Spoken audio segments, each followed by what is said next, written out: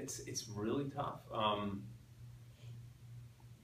I, I don't know how to answer that question. It's just it's an everyday struggle to try to find something new or to try to be incentivized. I mean, if you think about it, you're like, you know, as a human being, right? Like, you know, your biggest sort of fears are sort of impending doom slash death, which has been sort of dangled in front of us so many times now that it's a little bit like, you know, we're sort of immune to that. And so you have to find your sort of things that carry great gravity, you know, that have like a gravitas, like, and so it's hard to, to, to try to define those things when you you live in such a heightened um, reality in terms of the show that you're on.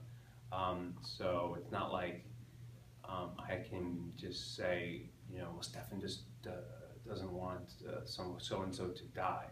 It's kind of like we've already resurrected people and we've done all these things. So it's kind of like I need to create some like other uh, motivations. Um, so it takes a little bit of creativity.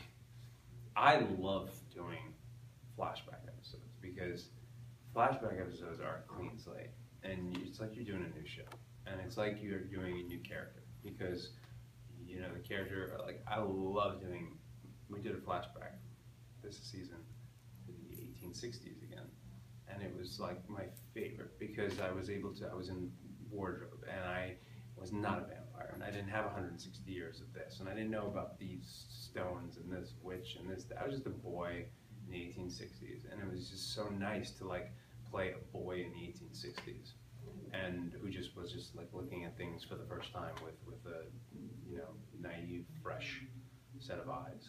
Um, it was so fun to to act that day. I loved it. You know, and that was fresh. If they could do a flashback episode every other episode, I think I would be in heaven. It'd be amazing.